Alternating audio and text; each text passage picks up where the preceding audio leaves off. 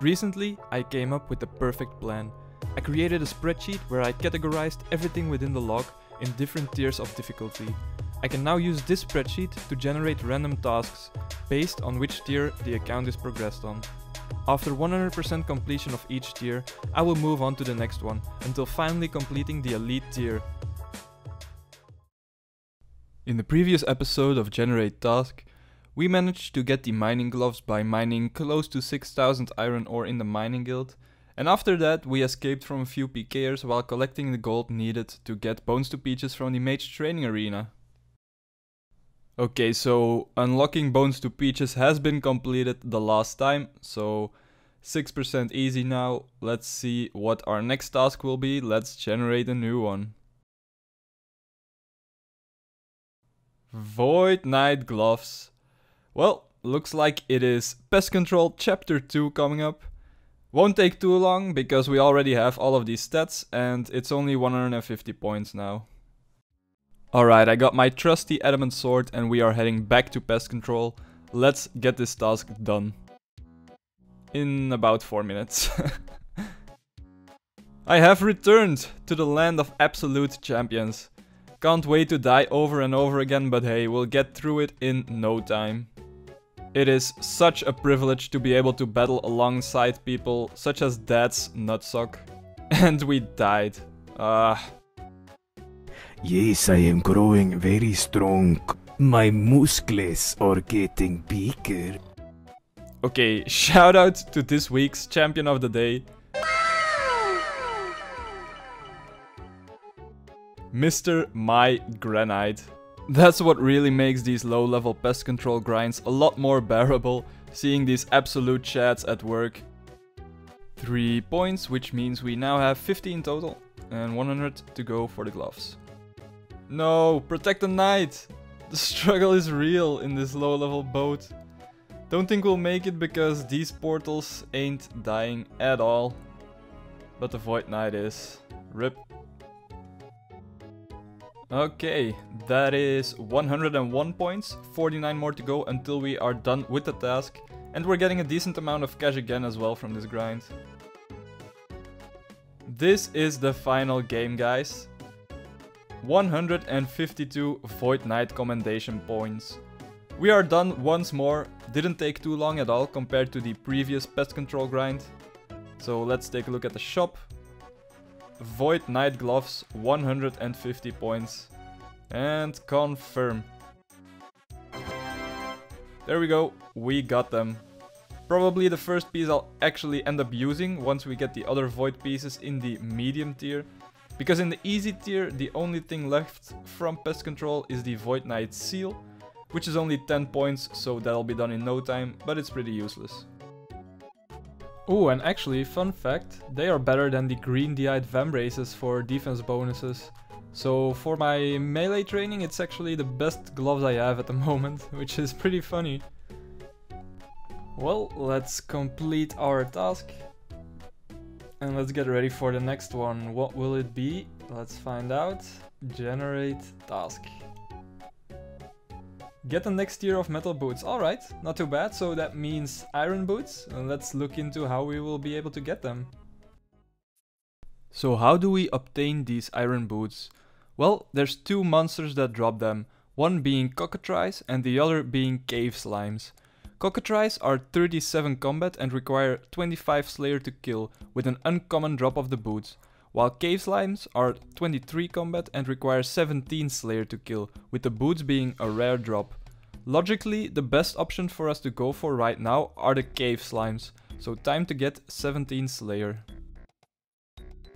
Alright, so before we start actually training some Slayer, let's go and do the Varrock Museum quiz first, like many people talked about in a previous uh, video somewhere. And get some free Slayer XP before we start training. We only need level 17 so it won't take too long. But the museum will give us 1k XP I believe, so that's a nice start. Sure thing Orlando buddy. I'll help you out. Let's do this. And that's the final one. Let's head back to Orlando and claim our reward. There we go, 1000 Slayer and Hunter XP. We now have level 14 Slayer and we need 3 more levels. Now that we are also much higher combat than last time we trained Slayer, we can go and get a task from Vannaka. Okay, let's see what we get. Ah, cave bugs. Okay, easy. That is our task completed and this being our fifth one, we also get our first Slayer points. Now before I get this next task, I'm going to tell Vannaka and the other Slayer Masters to stop looking at my combat level when assigning me tasks. So that we can get some higher level ones and hopefully this will help me get some better tasks to get better XP rates. So let's see. Okay, Ankous, not too bad. So I just spent 10 minutes in the security stronghold dropping aggro, but after killing one Ankou, I quickly realized that I shouldn't be killing them here to avoid completing the Skull Scepter piece task. So, instead I'm heading over to the Gnome Stronghold to kill them there. What I'm doing here is using the NPC Aggression Timer plugin from RuneLite, so that I can see the area in which I'm currently losing aggro in. Now, after 10 minutes, I'll be able to walk in the Ankou room without them attacking me, and then I can safe spot them on the rocks. Now, in case you're unfamiliar with NPC movement, the basic idea is that they prioritize west and east movement over north and south movement. So what this means here is that I can lure the Ankous to the side of this rocky area and then I can safe spot them around the corner from the south. So just to give you an idea, I'll attack this Ankou, lure it north and then step around the corner. And there we go, perfect. And that is the final Ankou kill for now. 17 Slayer, that's what we needed for the cave slimes. So it's time to head over to the Lumbridge Swamp Cave to get our iron boots.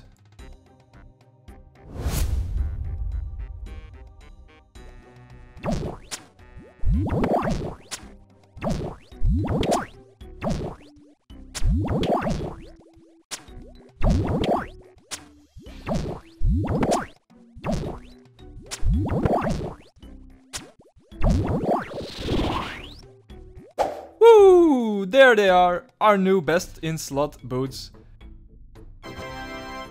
Took me 48 kills, so again not too bad at all, even though I'm not sure what the exact drop rate is as the wiki just lists it as rare. But that's another task completed, so let's get the next one. We are getting ever so close to the 10% easy completion. But what will be the next goal to work towards? Ooh, that's a pretty good one actually. This means that we can unlock Fossil Island and for that we need to get a few more requirements done. So let's take a look at what this really entails. Now, personally I never even knew these notes existed before making this account, so I assume many of you won't know either. Well, on Fossil Island there's this house on the hill and it has a basement nobody ever really visits because there's no real reason to. But in this basement these stone chests can be found.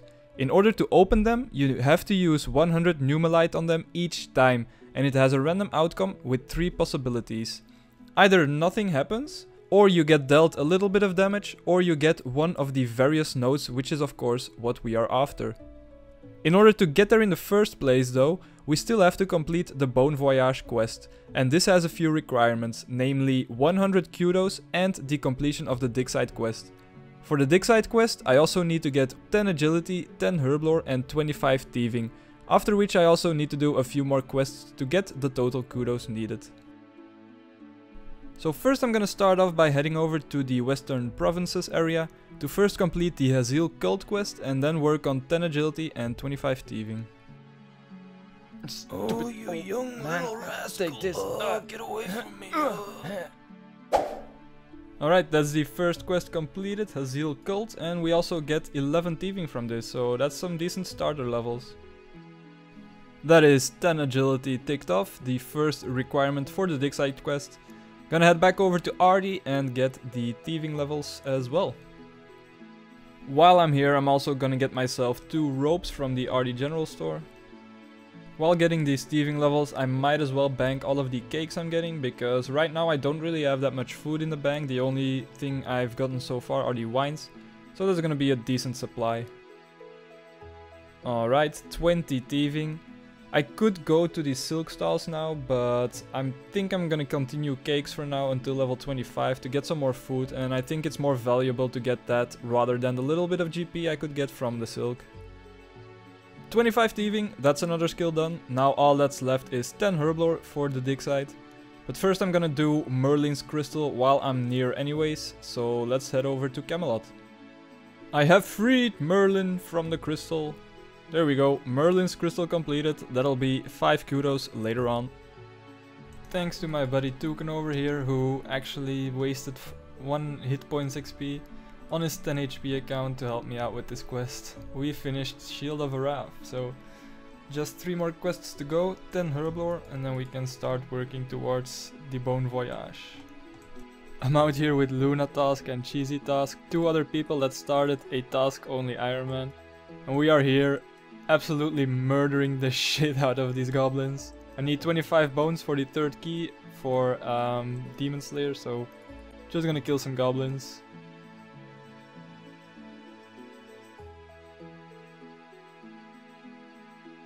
And that is Demon Slayer completed as well. We have unlocked the Herblore skill, which gives us level 3 Herblore as well from the quest. Now we just need to get it up to level 10 so that we can do the dig site quest. There is another strength level. Now I'm killing these chaos druids to get my 10 Herblore, but this raises a question for future Herblore training because eventually we'll need level 90 I'll leave a comment down below which I will pin and I'd love to hear your response to it, so check it out. Just got 49 strength and I'm still working on getting these herbs. Okay, this should be the final one. 10 herblore finally. It took quite a while killing the chaos druids for the necessary ingredients. But now we have all of the requirements done for the dig site quest. So let's get to it. Boom! Look at that XP right there. Also got 2 gold bars and 20 quest points in total now. We got up to 17 herblore from level 10, so that's pretty nice. No mining level though, because we are already at a fairly high level there. But there we go, we are now ready to go to the museum in Varrock. We can clean the finds, claim the rewards from the other quests we've done. And then we can start the Bone Voyage quest and get to Fossil Island. So right now I have 28 kudos from the museum quiz we've done earlier. And if I talk to the guy over here, he should give me 25 more kudos for 5 quests we have done. And I believe he will also give me 2 experience lamps for 2 of those quests. Alright, we now have 53 kudos in total and like I said he also gave me 2 antique lamps which each will grant me 1000 XP. I think I'll just pop these on prayer because they require a skill level of 20 to be used so the other skills aren't really that interesting. Here we go, 1000 and 2000 XP. Got us up to level 24. Now it's time to clean some finds for the final kudos.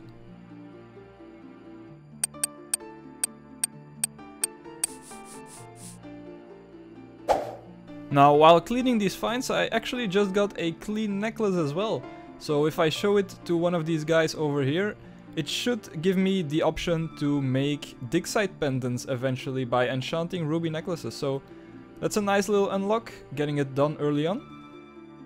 Case 37 it is, the final symbol for the 100 kudos. Pop it in the display case over here and there we go. We now have 103 kudos. Now we just need some vodka and an unfinished Marrentill potion and we are ready to set sail to Fossil Island. Grab myself two vodka from the groceries over here at the Grand Tree. Luckily I also had one Marrentill left from the Chaos Druid grind from just before. And we are now ready to start the quest. Smooth sailing, boys. We have made it to Fossil Island and we completed the Bone Voyage quest. Sweet, now we are where we had to go. Now I just gotta figure out the best way to get the Numulites. Also, what's rather unfortunate is that I don't have any construction levels yet, so I can't build anything in this campsite just yet. So for now, we just have to go to the bank chest up north on the little island and I think what I'm gonna start off with is trying out a little bit of swimming. Did my first swimming session and I actually got a medium fossil fairly early on. So what I'm gonna do is sell this for 200 Numulite, which you can do at the campsite. And then I can get two attempts at opening the chest to see if we can get a note early on. Alright, let's trade the fossil collector over here in the bank area. Uh, sell one fossil and we now have 218 Numulite. Now we can head over to the house on the hill and see if we can get the note.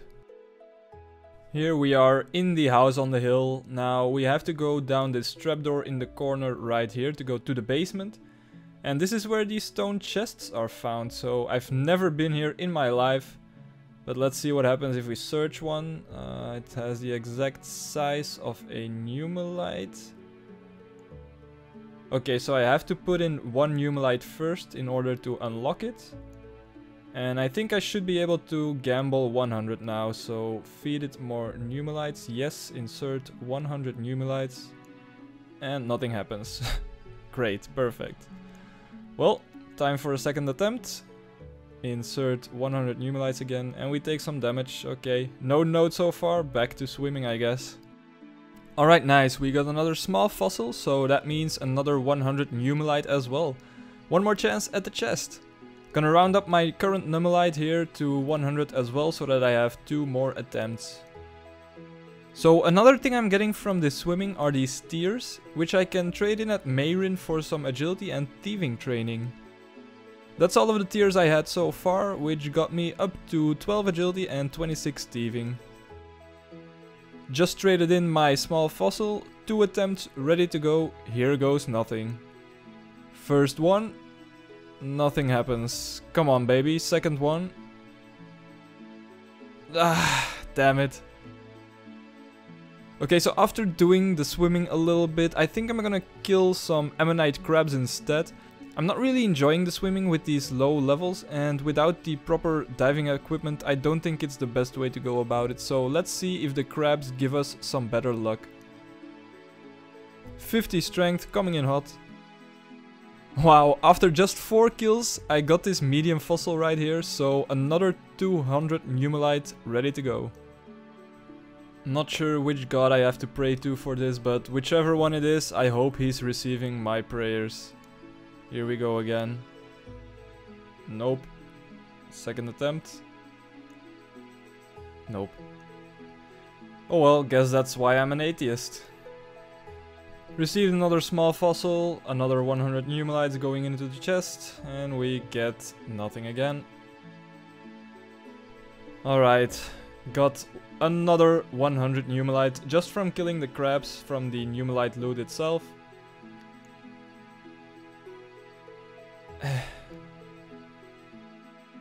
Alright, another 100 Numulite from the drops and had another small fossil, so that's another 100 Numulites. We got it, boys. The scribbled note. Awesome. Sweet. The whole is greater than the sum of its parts. Similar to that observed in the birthing pool, the spore on this island have the potential to inhabit the host, creating a symbiotic relationship between fungus and creature. Yeah, I guess that's pretty neat. So looking at the collection log at the section of Fossil Island notes, we now have the first one checked off.